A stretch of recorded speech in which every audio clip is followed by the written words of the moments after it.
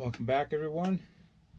Today we're going to show you a, just a quick tip on uh, how to file down some burrs on your bar.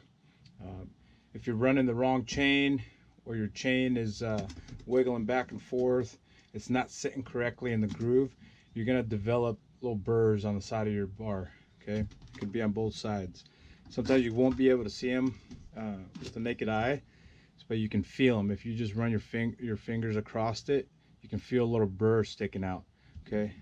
And if that little burr on both sides can actually alter when you're cutting. And by alter I mean when you're actually running the saw and you're cutting into something uh, as that if it's creating that curve and, and following into the curve it's getting hung up.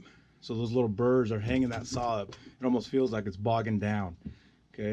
And if you have an older bar um, not necessarily even just an older bar, but a bar that's been misused with the wrong chain or, or that type of thing. Um, all you want to do is grab your file, just a nice little flat file, and then just run it along the edge. Okay, I can already feel that grabbing. Okay. And it won't take much.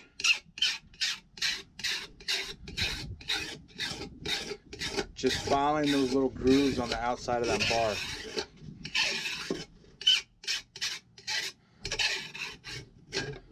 Okay, you'll feel it. You'll feel them be gone after that. Okay, you want to do that to all your sides. Okay.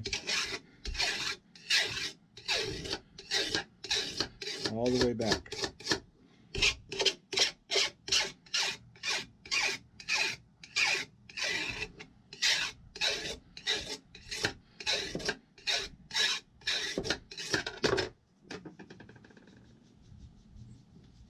Once those burrs are gone from all your all different sides, and I flip my bar over.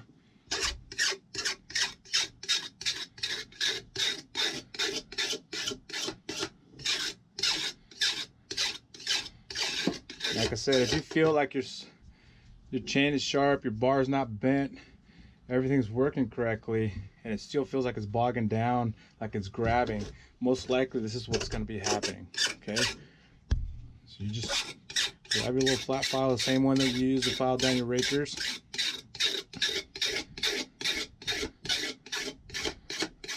File that little burrs off. Okay. Make sure it's nice and smooth again. And as this thing starts cutting and going into the curve, it's going to go smoothly. There's none of these burrs are going to hang it up. Okay. So just a quick tip. Uh, like I said, you're not going to be probably able to see them with naked eye, but you'll be able to feel them with your fingers. You'll be able to feel those little burrs on there. Okay. Thank you for watching today. Let me know uh, if there's anything out there you guys want to see or if you're having issues with anything. ask you to subscribe and I thank you for watching.